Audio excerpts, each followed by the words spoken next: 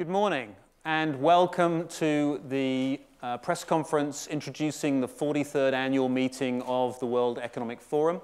My name is Adrian Monck. I'm head of communications here at the Forum and I'm joined in this press conference by founder and executive chair of the World Economic Forum, Professor Klaus Schwab, and by colleagues on the managing board, Alois Zwinggi, Børge Brende, Lee Howell, and by the Forum's chief economist, Jennifer Blanke.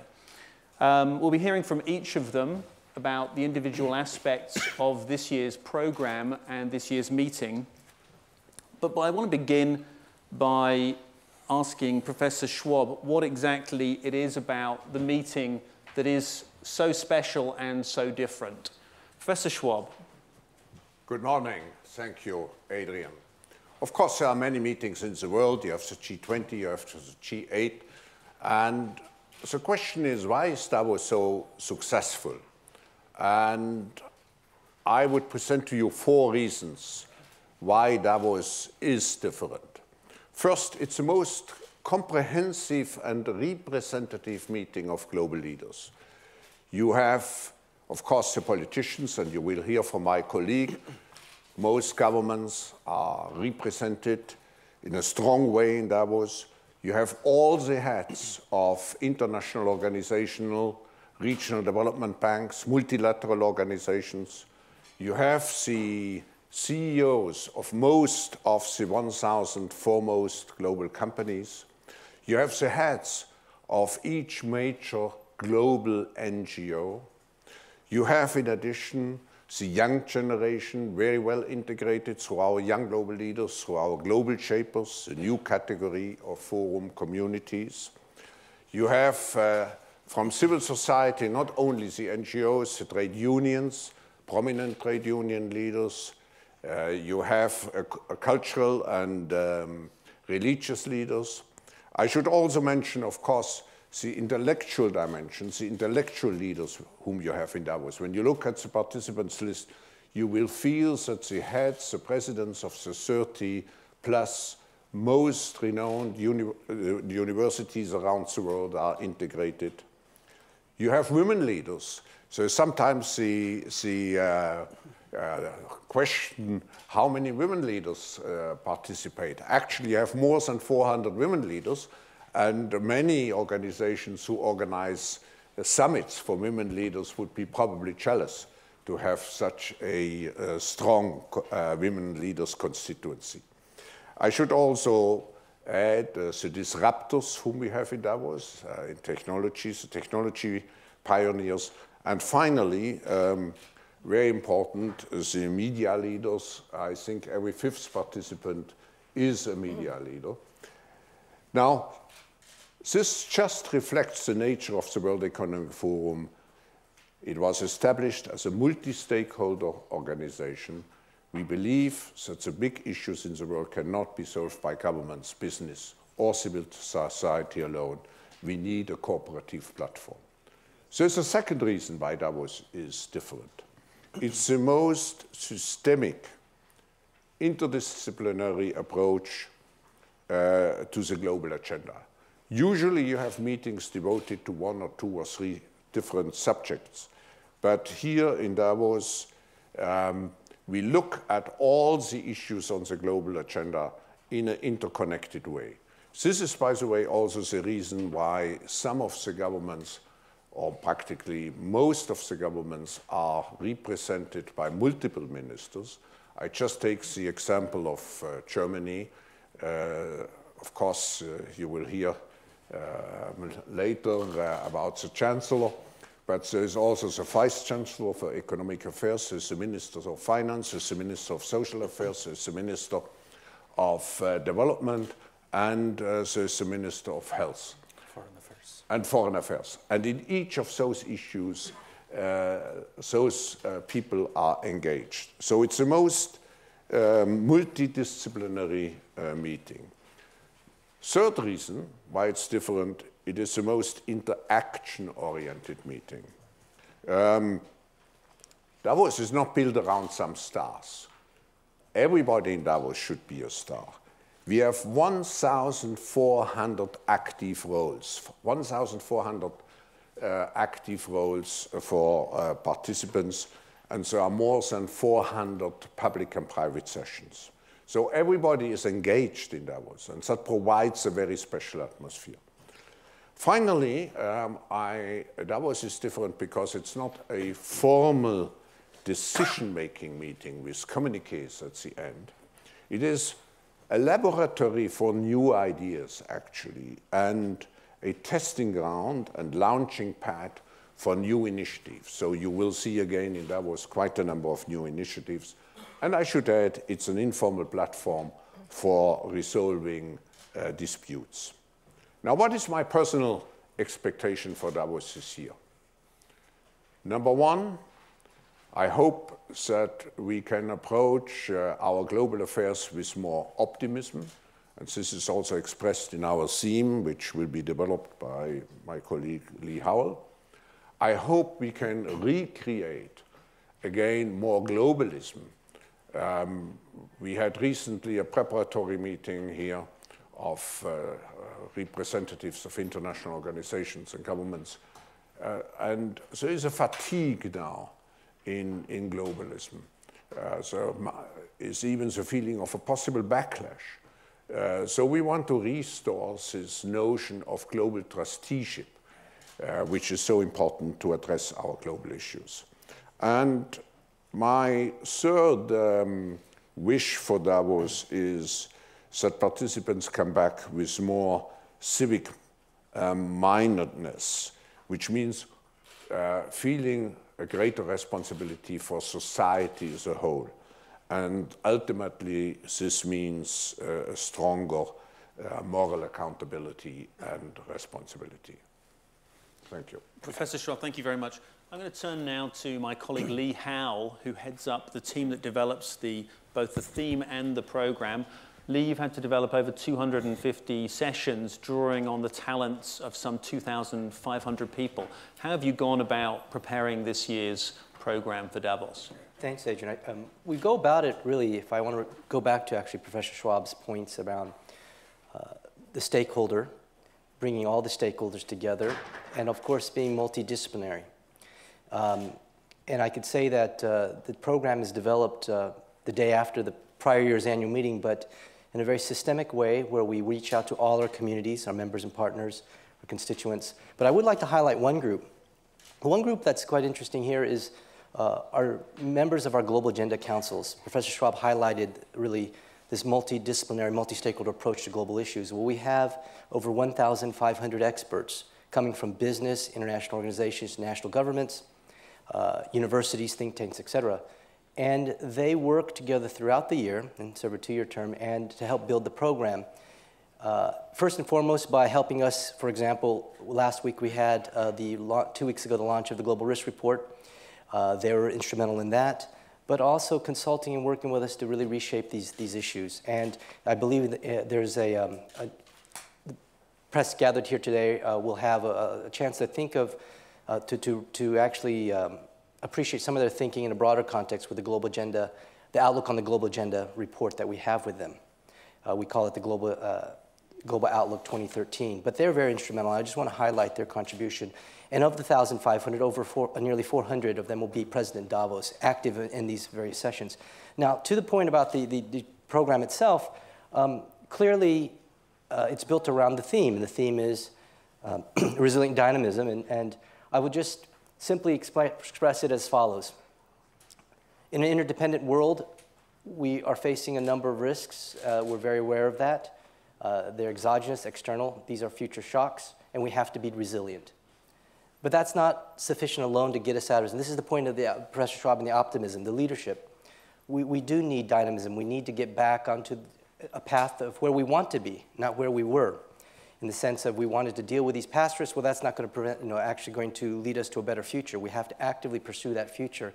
And what I would express to the people around the, the organizing principle around this theme is a bit counterintuitive, but in order to deal with risks, you have to take risks. And I think that's what we're hoping to see is that, that leaders will be open to in, being innovative, being bolder, taking these risks, because they do have to, of course, acknowledge and address the risks that society is concerned about. And that's how we built the program.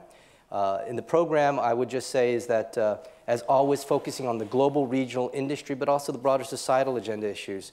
And uh, I welcome you all to go through the, the program that you have with you, but I would like to highlight uh, three areas, if I may, um, that I think would be. One is, of course, very much focused on the global economy. Some of my colleagues here will speak to that, but we do have really the top economic teams in Davos from the various countries uh, and economies, but also from the key international organizations, as, uh, along with uh, industry, uh, et cetera. But, but the key point is there is a, very much a focus around bringing dynamism back into the global economy and also dealing with some of the risks that we, we face with respect to uh, challenges revolving around uh, protectionism, nationalism, populism, such that we, we, we, talked about earlier. So I just want to highlight that point. The second is that we also very much focused around what's happening geopolitically. And there are a number of exciting sessions that Børge Brende will touch upon because we do have the leaders in, in these regions present with us to look at what is happening in North Africa, uh, the Middle East, Southeast Asia, et cetera. And uh, I just want to highlight that we're giving a lot of emphasis on, on the regionals this year, and we have a number of televised sessions with regional media partners. Uh, we've expanded our coverage in that sense, and I want to highlight that. And of course, third is uh, little known, but we spend a lot of time on innovation. We have a great, a great assembly of scientists and technologists in Davos. And if you're, Adrian asked me what's sort of my highlight of the program, is really around the Ideas Labs, where we work with top teams of scientists and, and, and really innovators and technologists from universities to, to really think about what's next that's really going to help us and change our lives in a very positive way. And uh, I find that very inspiring, uh, along with the fact that we have so many Nobel laureates. And I just would highlight the other one session, of course, is when we ask these Nobel laureates to really express what they think is really important in the state of the world today. So uh, it's a very rich program, but I wanted to highlight those three elements uh, just uh, for, for the media here. Thanks, Lee. Um, turning now to my colleague Børge Brende. Børge, this year there's, uh, there's usually uh, a strong participation by public figures, but it seems to have risen to extraordinary levels this year. Can you just talk us through exactly who's coming from, from the public space politically and civil society? Thank you, Adrian. Uh, it's correct that it is unprecedented participation from governments and international organizations this year at our annual meeting. We have close to 50 head of states and governments coming to Davos and more than 300 at cabinet level or representatives from international organizations. We know that uh, reviving economic growth, jobless growth, the situation in Syria, but also the post-2015 agenda on the Millennium Development Goals are crucial for uh, the international organizations, and we will have Secretary General Ban Ki-moon addressing all these questions. We also have uh, Madame Lagarde from IMF uh, talking about economic outlook uh, for 2013, and also the quite newly elected president of the World Bank, Dr. Kim, will also be in Davos. Altogether, more than 35 international organizations will be with us. We will, of course, have a special focus on the Eurozone and Europe. Europe has been through uh, tremendous reforms this year, and maybe even more important, one has built the framework that will secure not going into the same situation in the future.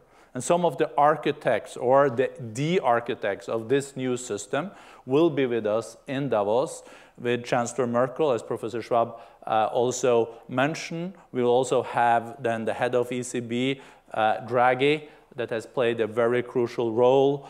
We will also have uh, Prime Minister Cameron, that is also has the presidency of G8 uh, this year, will be uh, in Davos. We'll also have uh, Prime Minister Monti um, of Italy that has started uh, reforms in his country.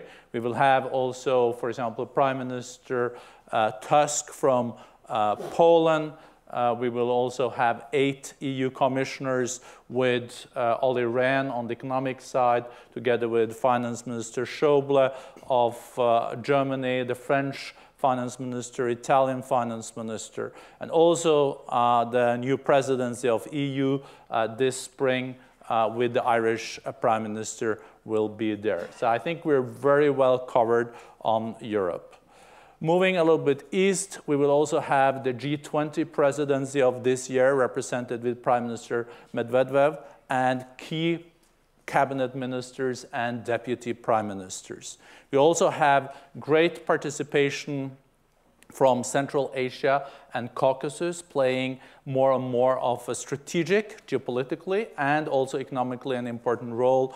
Uh, president of Azerbaijan, we also have the president of Ukraine, and we will have also a top-notch delegation from uh, Turkey with Deputy Prime Minister Ali Babacan, but also Foreign Minister Davutoglu that will be part of discussions on Syria and Middle East and North Africa we have unprecedented participation from the new democracies in North uh, Africa, sharing with Davos also the reforms that are now being undertaken with the Prime Minister of Morocco, Prime Minister of Tunisia, Prime Minister of Libya, and also uh, the Prime Minister of Egypt with crucial uh, cabinet ministers.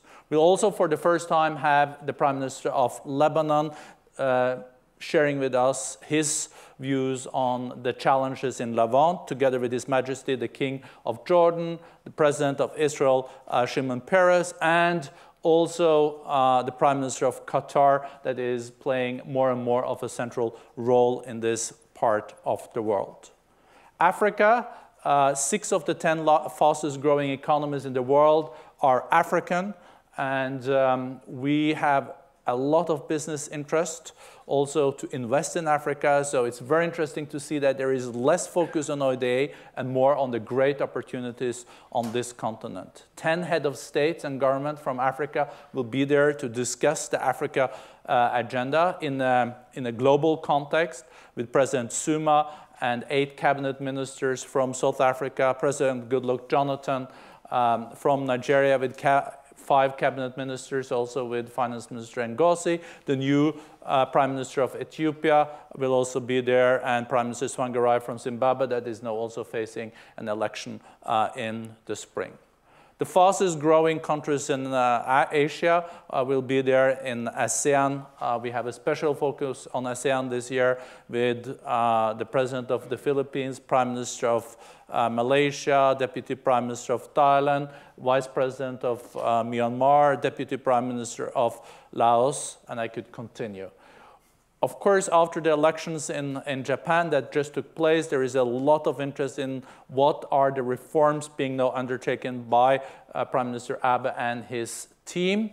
Um, on Saturday in Davos, we will have uh, the Trade and Industry Minister, METI Minister, and also the Minister in charge of the reforms will be there uh, to share uh, the new agenda. We also have good Chinese participation uh, from the central bank and also from um, NDRC.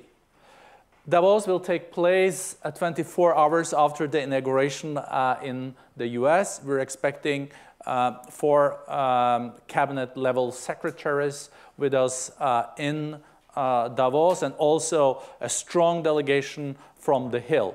Seven US senators, with including McCain, but also seven representatives from the House, including Eric Cantor, the uh, head of um, uh, the, the, majority leader uh, in the House of Representatives.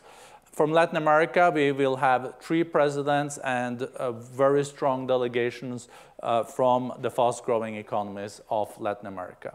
As also Professor Schwab mentioned, we will have uh, 40 head of civil society uh, organizations, including uh, the most important ones, Amnesty International, Greenpeace, um, Transparency International. We, for the first time, we have also co-chairman of Davos that is from civil society, Huguette Labelle from Transparency International. We have faith leaders, and we also have the important labor uh, leaders uh, globally. And of course, all the young people representing more than 50% of the global uh, population under age of uh, 27, the new community of global shapers that we initiated last year, now with more than 208 hubs in 208 of the fastest growing cities in the world.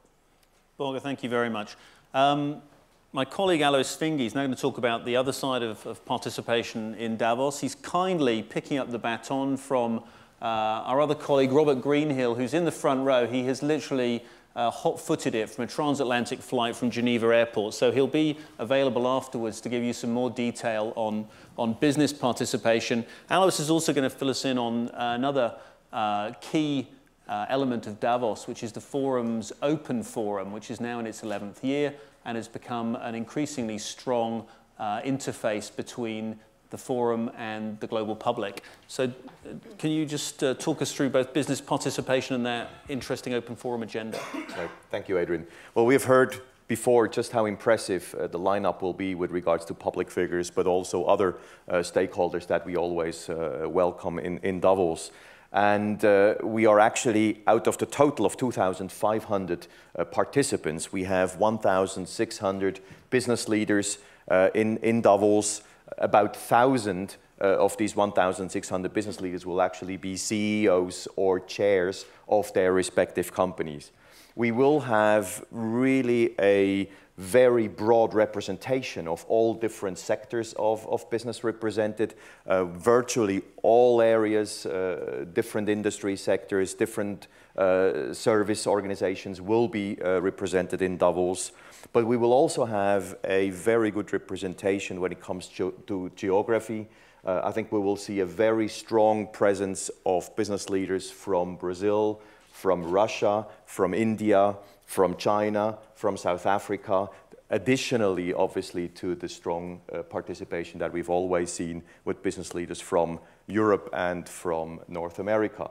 I think what also uh, is important to highlight uh, that together with these uh, businesses and business leaders, these members and partners, we work on projects and initiatives throughout the year. And I'd like to take the opportunity to highlight three initiatives that we're particularly proud of and that we've worked on the last year and that will have a particular uh, place also this year's in Davos. The first initiative I'd like to highlight is, uh, we call, is called Grow Africa. It is something that we have launched at our African Summit in 2011, and I think it really took off last year, where towards the end of the year, uh, the G8 uh, countries have actually pledged uh, a sum of $3 billion for investments in Africa. And this, uh, the focus of that initiative is really on food security, and we will give that initiative a particular place uh, in, in Davos. The second initiative is around climate change. Uh, at the Rio Plus 20 meeting, we have convened a coalition called the Friends of Rio Plus 20, and the purpose of that coalition is really to establish a fund that will enable investment in green technology in emerging markets. And we expect now to, to add towards this fund a sum of roughly 500 million dollars. And also that will be a key topic in Davos. The third one, already Professor Schwab uh, mentioned it, the gender parity uh, topic is really important for us. And we're very proud about the participation uh, of uh, female leaders in uh, Davos. Last year, we launched three gender parity task forces in Mexico, one in Turkey, and one in Japan. And we will also have a good number of sessions uh, to that topic in Davos. Lastly, I'd like to share with you uh, our uh, enthusiasm around the Open Forum uh, initiative that we've had. As Adrian said, it's the 11th year now. The Open Forum is really for the population of Davos and for the population of Switzerland. Everybody can attend these Open Forum sessions. Uh, we expect for these sessions throughout the four days, roughly 2,500 participants joining these sessions. And just to name a few that we believe are of particular interest this year in Switzerland uh, and also in Europe, maybe one session around employment. So one session will be titled Unemployed or Unemployable. Uh, a second session I'd like to highlight will be around mega sports events. As Switzerland is uh, pondering a bid for Olympic Winter Games. We believe that's a very timely uh, topic. And maybe a third example will be uh, a session on the war against obesity. Uh, so again, the Open Forum is, is a, an event that we organize also in recognition of all the support that we have from Davos and uh, from Switzerland. Thanks, Alois. And um, just to, uh, for those of you who are familiar with the work of the forum, the uh, Global Gender Gap report is an annual feature the forum uh, develops, which looks at the gap between uh, men and women across the world. That's a kind of keynote part of, of the forum's output, and uh, we build on that work in Davos, and obviously um, it's, it underpins our work in the area of competitiveness. Uh, can I just turn now to Jennifer Blanke, our chief economist, just to uh, draw out some of the other themes on the economic front that will be developed in Davos and some of the reports that will contribute to the meeting. Absolutely. Thanks a lot, Adrian. In addition to the measures that Alois has just mentioned, actually the annual meeting program is going to be based in large part on a number of initiatives that were actually taking place over the course of 2012. And Alois has mentioned a few of them. I'd like to give you a few other highlights that are quite important, we think. Um, starting with a project that I have been actually personally involved in, uh, the Competitiveness and Europe teams are producing a new report that we're going to be launching in Davos called Rebuilding Europe's Competitiveness. It builds on a recent book that was published by Professor Schwab, uh, and it will be launched on Thursday, January 24th. The underlying basis and, and idea behind this, this book or this report is that uh, when you look at Europe uh, and you look at the financial and economic woes that the region is facing, uh, it in large part can be traced uh, to a competitiveness deficit in the region. Uh, and so what the report does is it identifies some of the areas where the deficit is most pronounced and then looks at policies uh, and practices that have already been implemented in individual European countries that if you know, sort of extended and implemented in other parts of Europe would really be important in terms of providing a boost uh, to Europe's uh, economic prospects. Now, the report will be used in a number of sessions at the annual meeting uh, and bringing together leaders from all different you know, actors, uh, civil society, business, and government who are interested in boosting Europe's competitiveness and placing Europe on a stronger growth path. Now, Russia's competitiveness, or at least its economic prospects, uh, is the focus of another report that we will be coming out with in Davos. Uh, and this is going to be called Scenarios for the Russian Federation. Uh, and it was developed in close cooperation with Russian industry leaders, uh, business, uh, business leaders, political leaders, but also investors and experts. Uh, and what it's, it's based upon uh, our very well-established scenarios methodology. Uh, and it will be looking sort of out to 2030 at what are the prospects uh, for the Russian economy. What's quite exciting about this report is that it will be launched in a major plenary session where Prime Minister Medvedev will be there to react to the findings uh, and also to provide his and others who are in the session their thoughts about what are the prospects for Europe's economy going forward. And of course, this session will be live streamed. Um, turning from regional to global issues, uh, clearly, if you think about global trade, the world is trying to pick itself up from the inertia of the Doha round, uh, and there's a lot of effort uh, around the world to really, you know, sort of push uh, for uh, enhanced trade around the world. Now, this has been a focus uh, in terms of enabling trade at the World Economic Forum for a number of years. Uh, and one of the specific areas that's of particular interest is the whole concept of facilitating trade within supply chains. Now, this is important because one still sometimes thinks, perhaps not in this room, uh, but one sometimes still thinks about trade as trade in one product that's produced in one country entirely and then shipped to one other country, whereas, of course, today, you know, it's much more complicated than that. There are long supply chains where there are many different components or efforts made in different countries where things are shipped over multiple borders before they finally make it to the final customer. So what our team working on supply chains in the forum has done is they have been quantifying uh, what would be the benefits of actually reducing barriers to such supply chain uh, trade.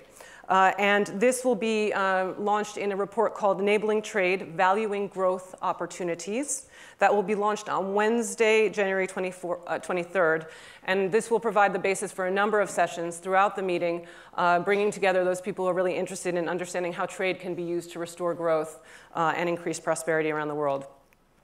Now, of course, those are a number of issues that one might expect to see at the annual meeting. Um, but as we've already heard, you know, civil society voices are, of course, already involved in all of these projects, and it's a very important, um, you know, project for the World Economic Forum to engage very closely with civil society. Uh, and so this year, we're taking this even a step further in terms of producing a major report, also based on the, uh, the methodology of scenarios called The Future Role of Civil Society. And this will be looking at how, you know, if you look at trends in economics, technology, society, the environment, and so on and so forth, how this will change the way that civil society engages with business and government in coming up with the sorts of uh, solutions to our collective problems around the world. So, I mean, basically, these are four of the reports that we'll be coming out with in Davos that will provide, you know, the basis for discussions and also action. Uh, and I hope it does provide some sense of where some of our research priorities are right now. Thanks. Jennifer, thank you very much.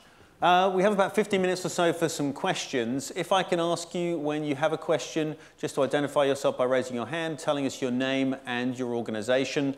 I also have a number of colleagues uh, in uh, the front row who can help provide some additional support on any uh, issues you might have. And there will obviously be time for individual interviews after this press conference ends. But can I just get a sense of who has questions in the room?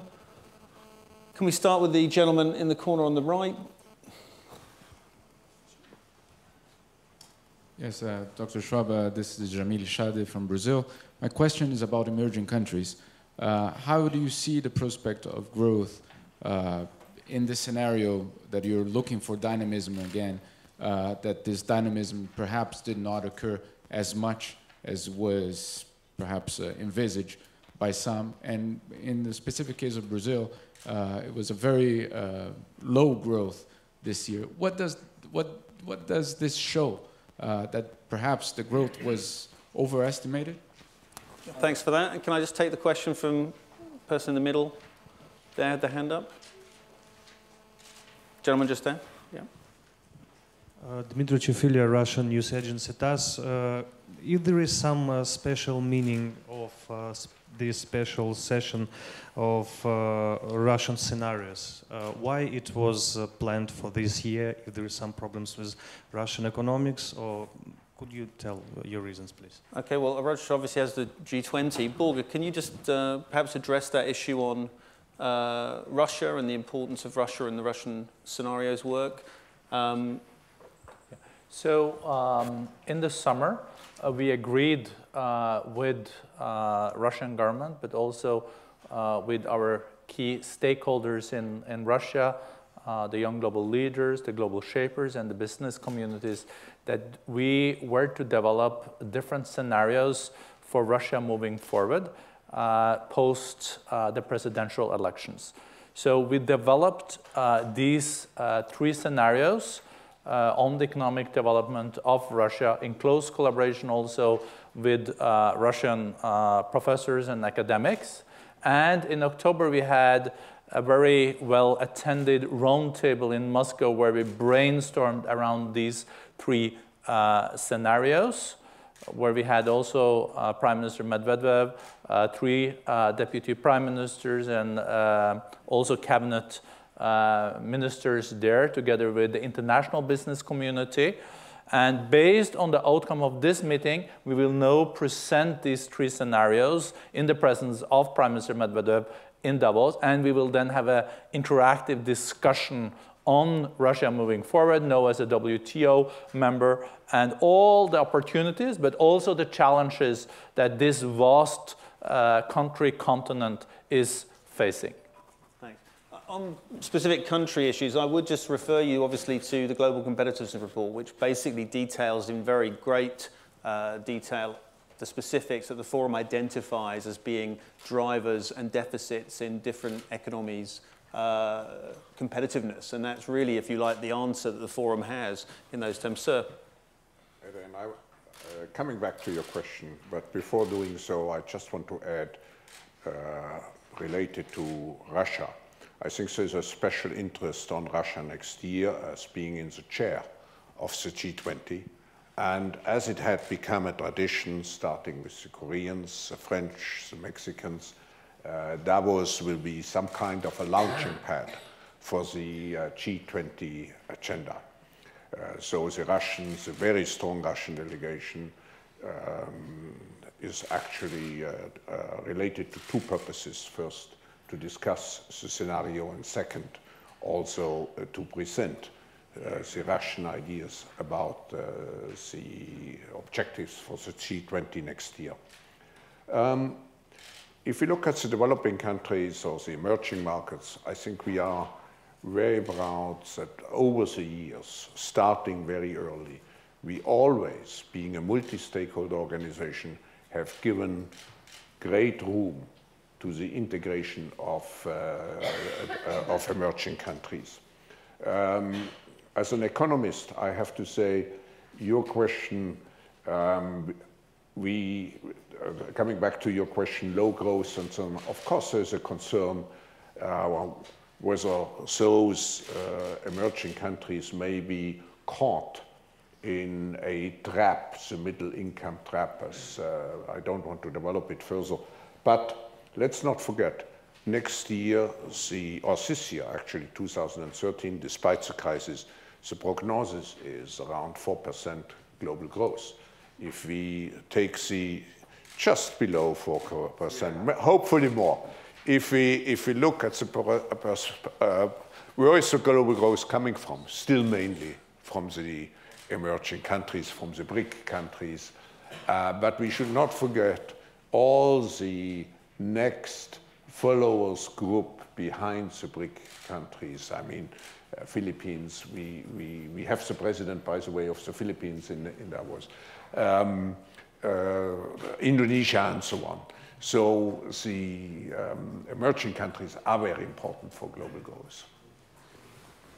Just uh, following up on that side of the house, uh, gentleman in the front, gentleman in the middle, and gentleman just at, uh, at the back there. We can take those three. Uh, hello, Marat Czargorowski from Geneva. Professor Schwab, thank you very much for Sorry, inviting can you us. just tell us your... your Marat Czargorowski from, From? Geneva, yeah, here. From which publication? Actually, independent journalists are working for different publication, yeah. Um, regular guest here as well. Um, I noticed that the main theme of this meeting is resilient dynamism. So um, what I know of resilience, it's rather a psychological term and which has been made recently very popular here by a professor called Boris Cyrulnik. You certainly heard of him. Uh, maybe even invite him. I haven't seen him in the list, but uh, I mean, here you are sitting on the chair. I would imagine, uh, do you see yourself as a shrink, if I may say so, uh, to the global economy? And I saw that uh, the pro Professor Kahneman is going to... Psychiatrist. Psychiatrist, psychiatrist, yeah. Professor Kahneman, Nobel Prize laureate, he's great, he's going to speak. Maybe you have some more conference on that, if you can comment. And another, uh, what I was appealed by the co-chairs, actually, there are two chairmen of companies, like Coca-Cola, you're talking, uh, Alois Zwinggi, you said about obesity. Well, Coca-Cola even admitted now recently that um, they were part of the obesity problem, especially in the US and also chairman of the UBS. UBS, as you know, uh, has been convicted recently in many different uh, affairs, paying billions uh, of fines. So um, is it for you uh, like a step forward to, to, to, tell them, listen, guys, now you have to, to do better? Or um, I don't know how you explain that. Thanks and, for that. I and, think that's yeah. there's two questions, probably enough uh, to be more than food for thought. Gentleman just behind. Thank you. Hi. Hi. Thank you. Thank you for taking my question. I'm, I'm Hiro Maegawa. I'm working for the Asahi Shimbun, Japanese newspaper. And uh, I have a question in general. Uh, as uh, Mr. Howell said, how do we get back to uh, the path? And uh, if you look at all these uh, theme of resilience dynamism, what do you mean by getting back? Would that mean more growth or more something else? because from we all know that the the world economy's driver is from e emerging economy and possible developing countries. But uh, living, uh, who has raised in a developed world like me, it looks a little bit grim. And the, how the, the developed world could cope with the world dynamism that we see less growth. Thank you. Okay, and there's just a gentleman at the back of the middle. Um, my name is David Deberly. I work for Daily here in Geneva, Tribune de Genève. Um, Mr. Schwab, you're very optimistic about Europe but uh, in a way, Europe is also a, a catastrophe, um, unable to, to reform itself. Do you think that Europe is going to save? Um, what are the drivers that, that are going to save Europe? Is it Europe itself, or, or Russia, or the BRICS, or the outside? And uh, you mentioned also a very high participation from Germany, for example. But France uh, uh just sends one, one minister uh, to Davos. Are you uh, disappointed by that? Okay, there's a couple of questions there. Just to start back at the beginning, uh, you've spoken before, I know, about Davos as a kind of therapy for, for world leaders and for CEOs. Uh, do you want to just uh, expand on that perhaps slightly, sir? No, it's, it's very, very clear the, the world economy uh, is based, and the future of the world economy is based on restoring trust. Restoring trust in leaders, restoring trust in our future. And this means we have to develop again, we have to move out of this uh, crisis mood, uh, which is amplified by the media also. Um, we have to look, what is the longer term future? What is the longer term future? And uh, uh coming back to your other remark, I mean, certainly um, Mr. Axel Weber um, uh, deserves praise as well as the chairman of Coca-Cola for doing now the necessary things. Um, um, coming um, to, to the question of our uh, Japanese, I would refer to, to my colleagues here. Yeah, and I think um, just on that point, I mean, it, Davos, as we say, often is a place where people are, have to confront other interests and other stakeholders and actually interact with them. And that, we think, is one of the most important aspects of, of, of the meeting. Lee, just... I think on that last point uh, you raised about where the path, I think indeed growth is important, but what you'll see through the program is there, there are some um, conditions of this, this future growth that we aspire for, and those are around its sustainability and its equity. Uh, the, you know, it's not just pure GDP growth, it's a growth that is indeed sustainable and, of course, is equitable. And I think that is very much in the program, and, and it's part of the dimensions of the conversations around what to do to get back on track. But I think it does go back to the fundamental point about um, we, indeed, there are a lot of challenges, but we can't be paralyzed, you know, paralysis through analysis of these challenges, but indeed take some uh, bold steps, and we're starting to see that. And uh, I think um, this is the moment, really, to do one thing, and that is at least share, have a shared definition of the problem because you can get to a shared solution. And, and all of these uh, issues on the global agenda are indeed uh, impacting across all stakeholders, and they are multidisciplinary. So you have to have that, uh, uh, that prerequisite dialogue to at least define it together so that you can actually solve it together. I think too, Jennifer, just to bring you in here, you, you identified a couple of reports that are launching in Davos which are really addressing that pessimism and giving a more optimistic uh, potential outlook. Yeah, I mean, based on whether countries actually do what they need to do, because I think that what we see is that very often, uh, countries actually know what need to be done in order to improve their growth prospects, but then somehow they can't get it done um, because it's very difficult to, to make the reforms, to make the changes that are necessary. And so I think I would say we, are sort of addressing this in two ways at Davos. Uh, number one, just through this multi-stakeholder dialogue, getting all the different voices around the table and talking about it and saying, especially in Europe, but elsewhere as well. We know what we need to do. How are we going to do this together? Because generally one actor can't do it on its own. Another one, as I'd mentioned, is the fact that we do see things that have been done elsewhere. We do see that certain countries have been able to implement reforms and investments and the sorts of activities that do jump, jumpstart them. So what we hope to do, and more and more going forward, but also at the annual meeting, is to put together those experiences and inspire countries uh, and regions from the sorts of experiences that have been seen elsewhere.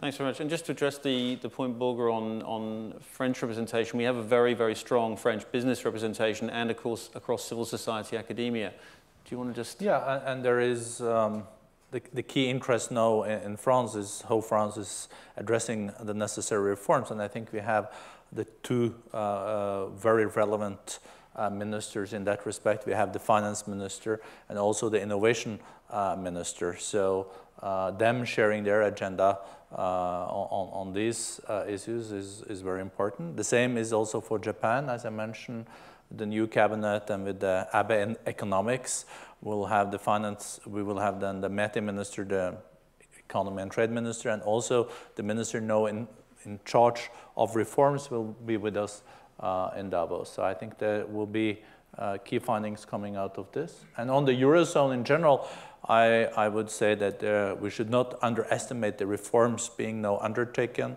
Some of the periphery countries are now turning deficits into surpluses. We're also seeing that the labor unit uh, costs are falling quite dramatically. And uh, hopefully this will also then uh, result in uh, more substantial growth at the end of 2013, something that also the board of ECB uh, said they were hopeful for at their last board meeting when they decided to keep the interest rate at the same level as uh, before Christmas. Thank you. Lee?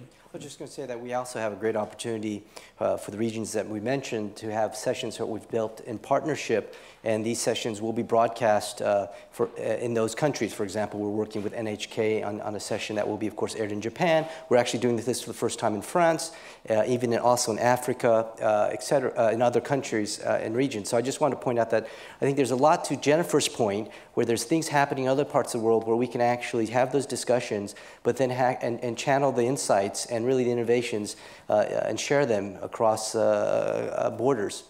Thank you. Um, we're coming to the end of the session, but I just try and squeeze in some questions from the back of the room, just working backwards to the middle, if we can.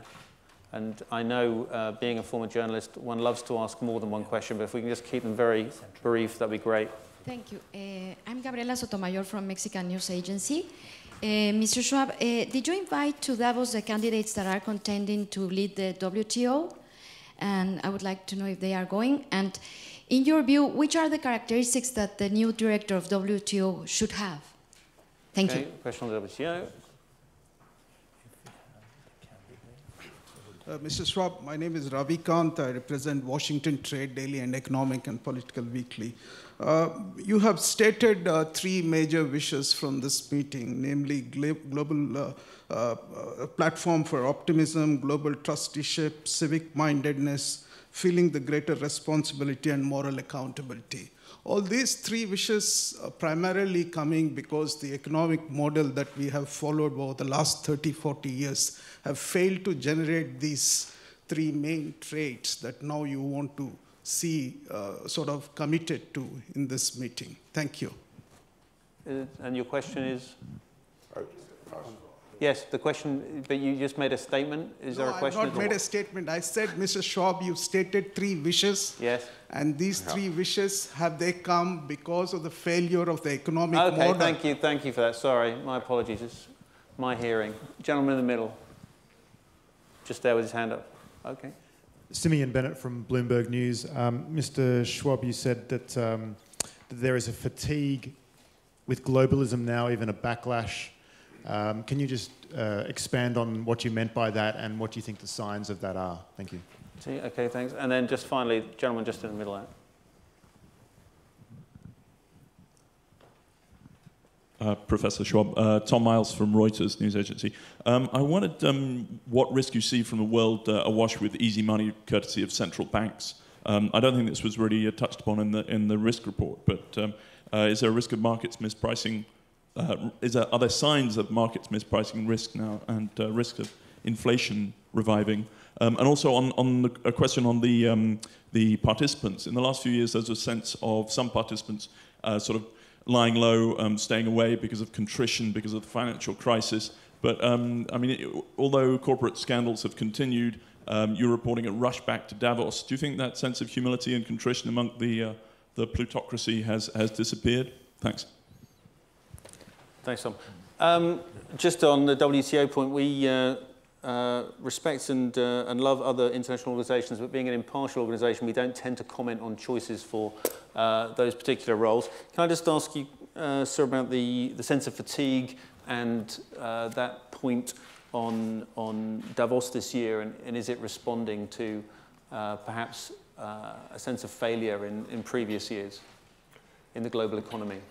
Yes, um, uh, I mean, you just have to look at the facts look at the outcome of the Qatar meeting on um, environment, uh, look where we stand with the world trade uh, negotiations, uh, study some of the uh, communiques uh, of the G8 and G20 uh, over the last years and look at the progress made. So um, it's a fact that we, in some way, we are blocked in terms of making progress on addressing the real global issues in a collaborative uh, way. Um, there are small, small steps which we achieved, but uh, it looks uh, that uh, countries with the economic uh, crisis have become much more uh, egoistic again, more nationalistic. And this, of course, creates a situation where everybody tries to optimize nationally uh, the situation, which means a sub-optimization on a global level. Um, just to come back to one, that is a question um, from over here. Um, the forum always had the philosophy that um, uh, it is entrepreneurship which drives economic and social progress, economic development and social progress. So I don't think we have to change drastically the model of economic growth. We have to improve it. And we have to put back at the center entrepreneurship. Thank you. I would just say, uh, uh, Tom, regarding participation, just looking at some of those key elements, it's actually remained remarkably consistent from financial services and banking over the past five years. I think looked at those numbers. Um, but I think you can see this year from the presence of uh, Huguette Labelle uh, as co-chair and also if you look at the work that I know doesn't uh, necessarily always catch people's attention as a headline, uh, but the work we do on our Partner Against Corruption initiative and the, the way that the Global Competitiveness Report stresses transparency and good governance as really key drivers of national competitiveness. Um, you know, the forum's history in this respect is, is a very strong one in terms of uh, emphasizing the ways in which those elements can, can really improve both corporate, business, and national, uh, and therefore global competitiveness. Adrian, I just want to come back rapidly to the question uh, related to um, the financial situation. Um, that's exactly why I'm looking forward to go myself to Davos. Um, there are so many issues where we do not yet know the answers. Uh, like uh, the question you raise, will we go into an inflationary environment? So I'm looking forward to Davos to discuss with those present and to shape afterwards my own opinion. And after the meeting, I hope to give you a very qualified answer. And you just, uh, Lee, you were the editor of the Global yeah, Risk Report. Exactly. So well, I'm not allowed to pick my, my favorite session, but one is related to this, and we will have a debate a forum, uh, we'll have a debate in Davos around really what is the, looking at the near term and the long term uh, impact of, of, of this sort of bold, innovative monetary policy that we're seeing in parts of the world. And that will be a very much uh, one of the first debates we have in Davos. Great. Uh, we look forward to seeing uh, as many of, as possible of you as we can there. Thank you for being with us this morning. For everyone watching, I hope you'll be able to follow up on the website. Uh, thanks, everyone, and we'll be able to do individual interviews after this. So thanks all of you again. Thanks to my Thank colleagues. Thank you.